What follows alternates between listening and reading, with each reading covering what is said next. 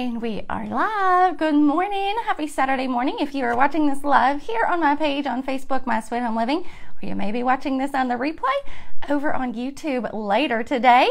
Either way, I hope that you'll let me know that you are here today. I'm so excited about today's project and we are part of a two-day weekend marathon called the Vintage and Thrifted DIY Marathon Fall Special. Welcome on into My Sweet Home Living. My name is Tracey Campbell please do let me know if you are here where you're tuning in from. And also if you are new to my page i would love to know that as well. Hop on in here. We have an amazing project beginning today um, or for today. Our event is starting today and continuing all the way through tomorrow night. If you love all things vintage thrifted rustic primitive this will be the place you want to be this weekend. Let me show you what we are going to be um, doing this morning. Good morning, Michelle and Dana and Sue. Thank you all for hopping on this morning. Um, okay, Miss Patty, no problem. I just want to make sure that you guys can hear me okay, though, because Facebook has been a little glitchy this morning already, so I want to make sure that we're all in uh, working order. Good morning, Miss Emma and Ann. Tanya, thank you all for tuning in. I'm not going to spend a lot of time chit chatting because we have a fabulous project that we're going to hop to this morning. And um, this event this weekend is really special in the sense that it's all things themed around vintage and thrifted type projects. And so um, last night we did a pre-event kickoff. If you see my little tobacco stick tree over here, I did kind of revamp the star at the top. Still needs a little work at the top, but that is our tobacco stick tree. I used actually, they were actually, I guess, antiques because they're probably more than 100 years old, uh, tobacco sticks from my family farm and created a really cute fall tree for my home decor that I can change out for the seasons. If you missed that, I have the replay on my page, My Sweet Home Living, and you can also find it in the event group called all things vintage and thrifted. If uh, you want to catch the event, the link is in my video description where you can watch all the amazing creators and we have two live sales going on this weekend as well both at 6.30 p.m central both evenings today and tomorrow. So you won't want to miss that either. So let's hop into it. Let's hop into it. I can't wait to show you what we're doing today something really simple.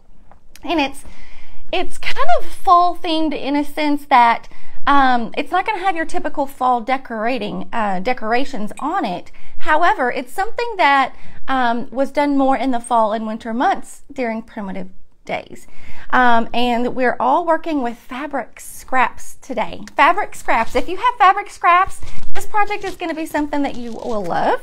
Something very simple that you can put together. You can use different colors to create a different kind of theme, but we're also repurposing repurposing a jar, you guys. this time I think this is an old uh, jalapeno jar. And actually, it still has the labels intact, but I'm not going to worry about that too much. I'm going to kind of uh, embellish the back and the front uh, uh, throughout the process, so you won't even be able to see that, but we can always remove it later as well.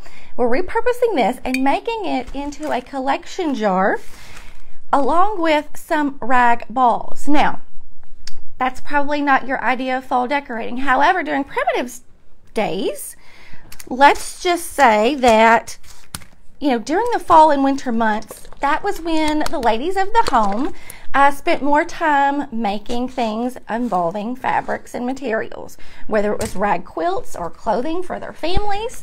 That was when they started using more of their materials because during the summer and the spring months, they were spent um, you know, canning and preserving things like that, um, or tending to things outside of the home or cleaning. Uh, but during the fall and winter months, when you hunker down, you get those fabric scraps out, and that was during the time that they would start creating rag quilts um, and clothing items. And so there were uh, fabric scraps more readily available, uh, and they saved them during that time. Now, these collection jars, collection jars come with the idea of any kind of primitive style decorating was very simplistic in the sense that they used things that they had for everyday purposes. I'm painting the jar lid, by the way, if you're wondering. I'm just giving it a quick coat of some um, off-white chalk paint. And we're going to grunge that up and make it look good and rusty. but collection jars were something that they could add to the decor of their home using items that they were practical, like fabric scraps. And so they would take these little remnants of fabrics that they um, would have and they stored them in jars or bowls or things like that. And um, that would be also serve as home decor during those primitive times. Now, I'm not seeing that I am being shared over into that group. Goodness gracious, yes, we are. I just want to make sure that all of our watchers can find us if they are looking for us. We um, all of the videos and events are going to be posted into the DIY Vintage and uh, Thrifted group. So uh, if you want to know where that group is, the video description is uh, does have that link for you. All right, I've given this a quick coat of white, off-white chalk paint, you guys, and I think it's going to work perfect. Now, let's move on to the next step. And while that paint is still kind of wet and tacky, I'm going to sprinkle on some cinnamon. You know how funny this is? Is because if you're, no matter if you're watching on what kind of a device you're watching, um, different devices have different um, looks to them. so that's so strange because on, um, you know, one page it doesn't show up and the other page it does. So I just want to make sure that we're all in the same place here. Um, that people can find us. We're just trying to make it easy. Just trying to make it easy. And um, technology is kind of making it hard this morning. We had some technical difficulties with our first presenter. Bless Miss Pat's heart. She is running into technical difficulties, but she pulled it together, and um, I know she'll be back with more details on her project, and she always is good about posting photos as well. So I've sprinkled this jar lid. Woo, let me tilt this down so you guys can see what we're doing. Good morning. Good morning, Miss Francis. Good morning, Miss Teresa. How are you? All right. Okay, went a little overboard there. All right. I have just sprinkled a little bit of instant coffee and cinnamon right on top of that paint, you guys. And then I'm going to layer on a little bit of Mod Podge right on top of that paint and you're going to watch the magic of the grunge take place, you guys. This is actually more, it's, it's a mix between grub and grungy. Um, grubby, I think, is a little has a little more texture to it, is what I like to call it anyway. Um, and grunge is more of a coloring, more of a staining technique. But now this, I'm trying to do grubby. Whew, and my Mod Podge and my coffee is not wanting to activate this morning. Come on, get it together. I just want this jar lid to look good and old, you guys. If you are not familiar with my kind of style, if it's not old, I make it look old. Oh, you couldn't get on the link. Um, I'll check that out. If the link I do have, hopefully in my video description is working. If not, we'll see. Let me test it. Yeah, the link that I have in my actual video description is working. So um, if nothing else works, click that video description and that will have the group link that you can find. When all else fails, pour Mod Podge onto your surface. That's what we're going with. We don't have time to mess around this morning. We got to get with it. All right, now it's going to look pretty goopy and really, really kind of um, suspect for a little bit. That's okay um, you kind of want that coffee to kind of marry with the Mod Podge and do its thing. Sometimes it takes a little bit longer. You know, sometimes it's not love at first sight, but it, it will it will do. It will do it. The more Mod Podge you have on there, the better because it kind that moisture kind of serves as an activator for that coffee. And I'm just going to sprinkle a little bit more. And I'm going to crumble some of these little crystals up a little bit so that they're finer and that will kind of speed along the process as well. Now, we're going to turn a little bit of heat on that lid and we're going to let it kind of dry while we proceed to the next step. And we will have this all wrapped up in about 20 minutes, you guys. we are sailing right along here. Let's put the lid on um, our substances, though. I don't want to create a mess this morning. Newbie from Iowa, welcome Miss Jane to my page. My page is My Sweet Home Living. My name is Tracey Campbell. So excited that you are here, and hopefully you're here for the two-day weekend event called the Vintage and Thrifted Marathon. So excited. Thank you, Miss Debbie. I know my style's not for everyone, you guys. I know not everyone likes things, I don't know, old, worn, whatever. Um, but if you're here for the event, I think you kind of like this kind of style somewhat. It's just, I don't know, it's just what I like, you guys. You can kind of take this same little style, though, and kind of create it your own, make it your own with a little bit of tweaks. Uh, so it's not anything too complicated. Now, what I'm going to use next, let me show you. Let's pull these out. We're going to use some styrofoam balls. Nothing fancier than that, right? super, super uh, easy to use. So I've pulled a couple of these out and I'm going to show you what I do. If you have scrap fabrics, then this project is perfect for you. If you want to kind of have a color coordinated design, then you might want to be a little bit pickier and choosier about your fabrics that you use. So as you can see, I've just kind of pulled out some fabrics that I know kind of coordinate together. And if they're not quite all grungy enough for me, never fear because we can always pull out the good old trusty coffee grunge mix. and we can grunge up these materials and kind of give them all the same little look to them, the same little patina to them uh, using that coffee grunge. So here's what I have done.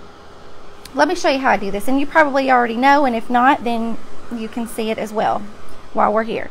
Let me scoot this jar to the side because I don't need that right this second.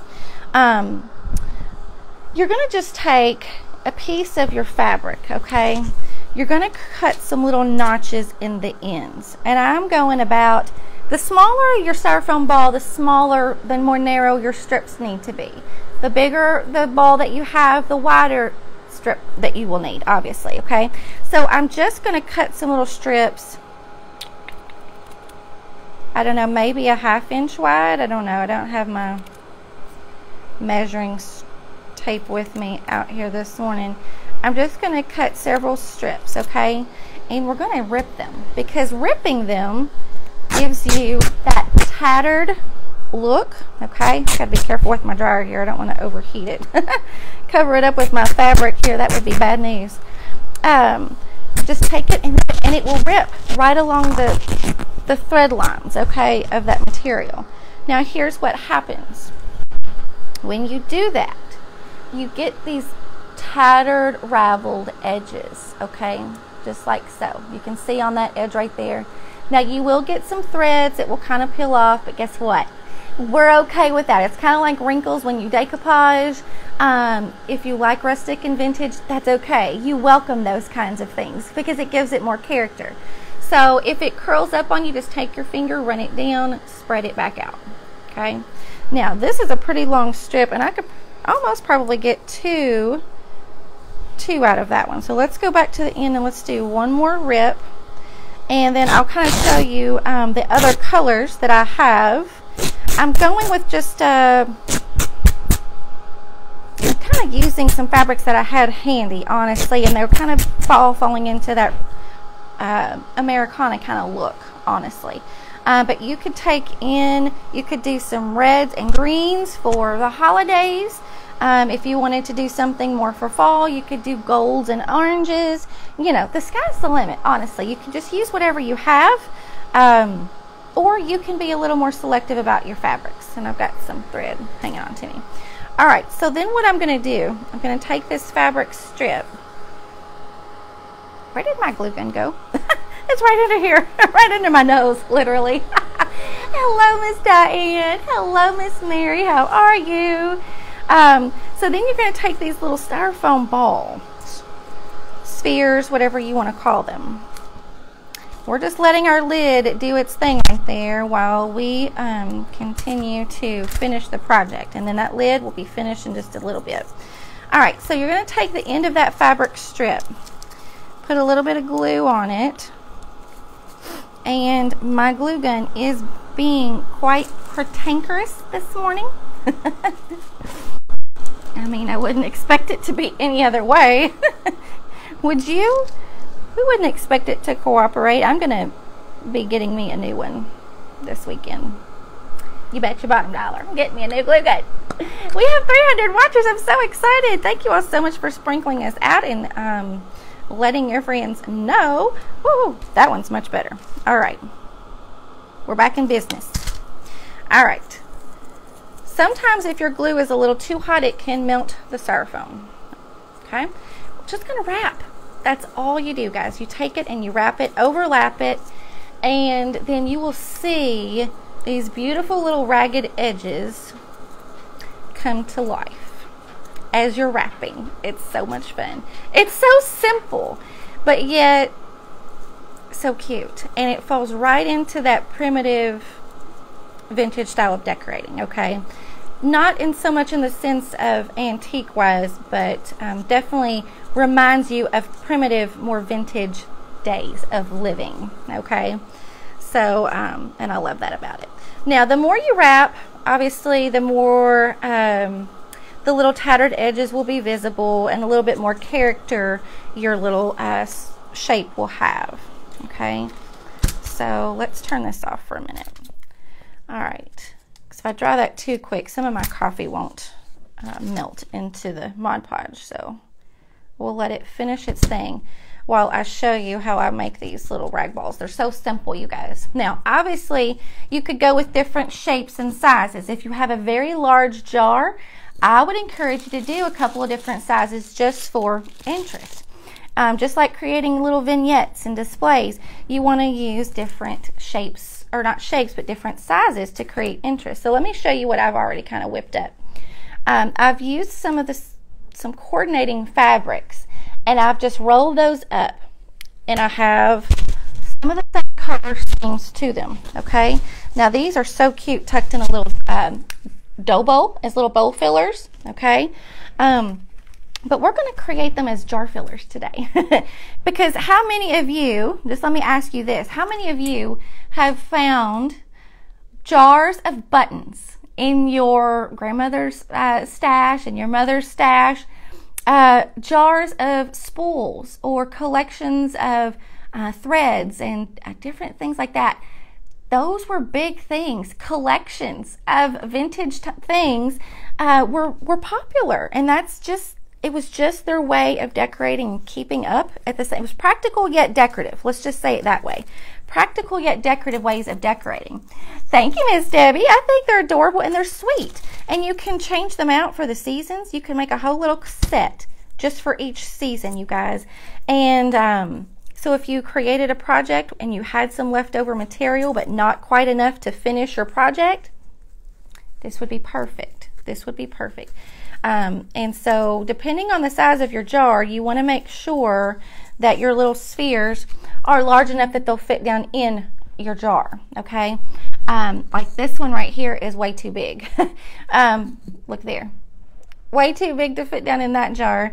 Uh, so you have to mix and match. These, I think, these are, I don't know what size these are, but they would fit and it would give me a little bit different um, size interest.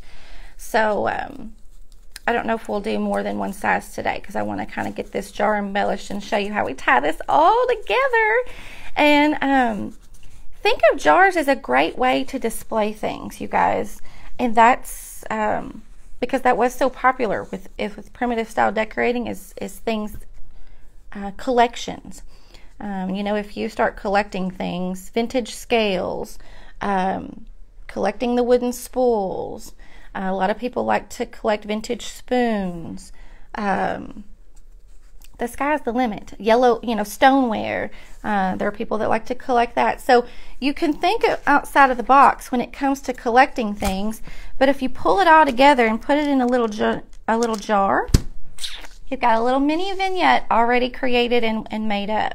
Whoa, that's hot, guys. Whoa, whoa, whoa. all right. So here's our jar. Now ignore the label that I have on the back. I am going to use a little bit of a filler and I haven't quite decided. I could use some um, uh, Excelsior, which is like a lighter color, or I could use a little bit of like, uh, what is this? I keep wanting to, this is Spanish moss. I could use a little bit of Spanish moss, and I think that's what I'm going to use because, only because, let me show you, it kind of ties in to my color tones a little bit better, okay? And that'll kind of just fill in between the gaps of those little rag balls and um, just give another texture. I'm going to cut that because it's not going to pull apart. it's not going to cooperate. We're going to cut it. All right. I don't need a ton, but I do want to have some handy to just pull out. I'm going to start by putting a little bit in the bottom. And it's going to kind of be like a little layering. All right.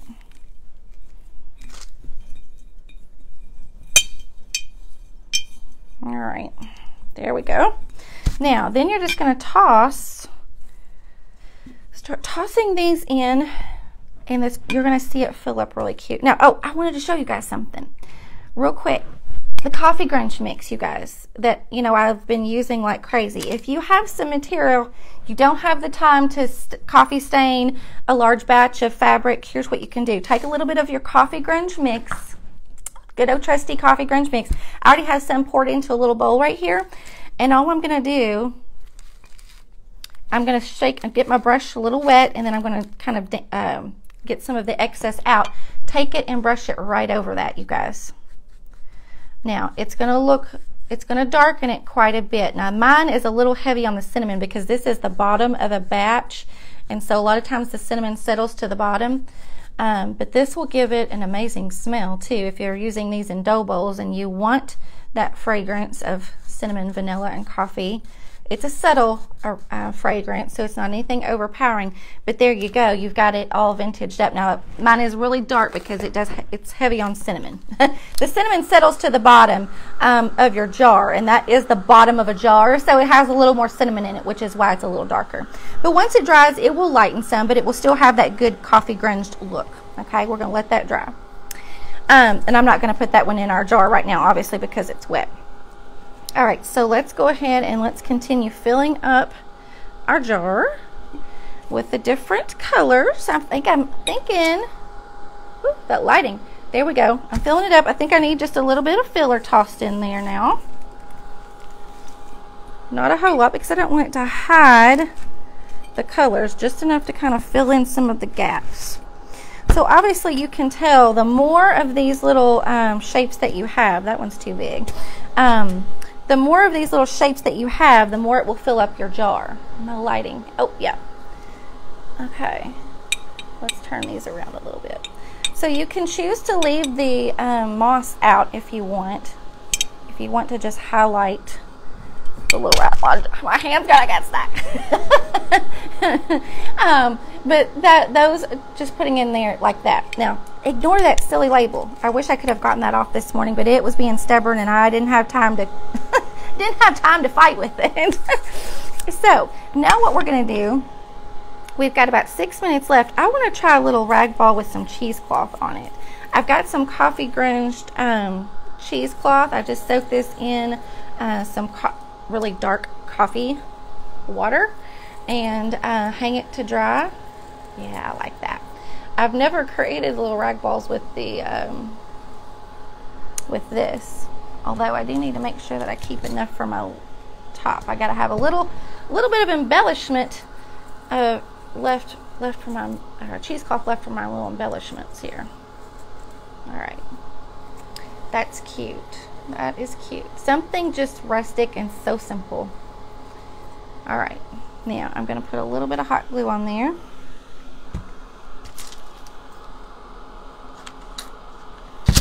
And where'd the scissors go?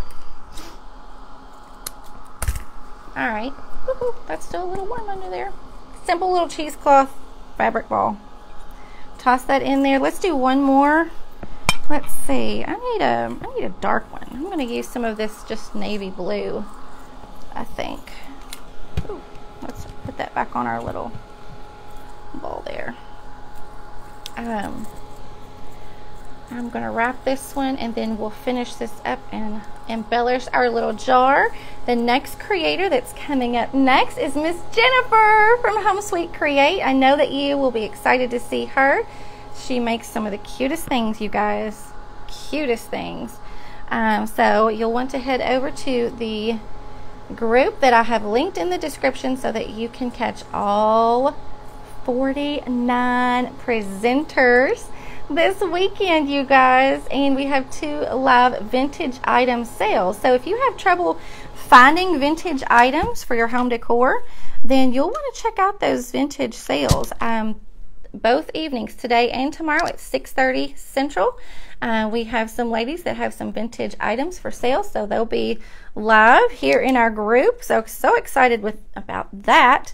All right, we're filling it up, you guys. We're filling it up. Now, I think I might have a little bit too much moss right there, so I might have to go back in and take some of that out in a minute. Um, and let's get some heat on this uh, matter here. It's taking its sweet time this morning. Taking its sweet time. I know we don't have a whole lot of time.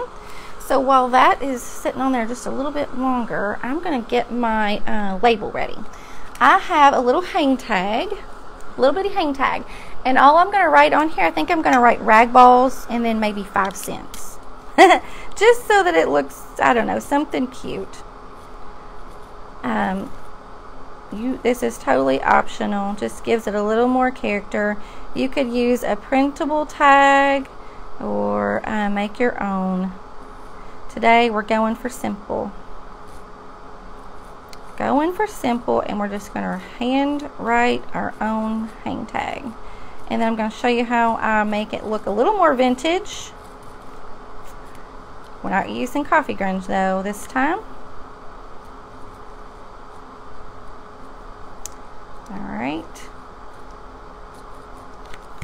Alright. Alright, so we have that written on there. That's backwards. I didn't turn my camera around. I'm to take my good old trusty, let me show you. Whoa, we got bubble action going on there. Distress Oxide ink. Actually, this is just distressed ink. And, um, well, that's not to work either. And, um, go around. Tell you what, it's early. it's early for me. My brain is just not functioning this morning. Good morning. Good morning, Miss Linda. How are you, sweet friend? Uh, I'm going to take that and ink it up. Go around the edges because that's where you would have more tattered look to it. And I don't know if you guys have any fabric scraps that could have possibly belonged to your mother or grandmother or someone in your family that you may be able to use this um, project idea with. But um, it's definitely the time of the year, fall, winter, when we start spending more times indoors. And um, just as in Prophet telling me I got two minutes left, you guys. Two minutes. So Miss Jennifer will be hopping right on up after me. We're going to tie this little tag on at the top. And I'm going to use just a little strip of um, cheesecloth. I want to make sure that you guys can see Miss Jennifer when she starts uh, from Home Sweet Create. I've got a little strip of this. I'm going to tie it around the top and we're going to finish it off with our little lid at the top. And then you can add this to your jar collection, you guys. How cute is that going to be? We're going to double wrap that, I think. Yes, so cute. Okay. Give that a little tie at the top. Tie right there. Is our lid touchable? I think it is. I'm to have to do a little bit more work on that lid, you guys. There's a cute little idea that you can use to display your little vintage primitive style little rag balls. Hope that you've enjoyed today's project. I hope that you enjoy the rest of the today's event and tomorrow. Stay tuned. Our next creator is coming up next. Thank you so much. Leave a, a like and a follow uh, on my page before you leave me today if this is your style of decorating, and I'll see you again soon. Thanks so much and have a wonderful day.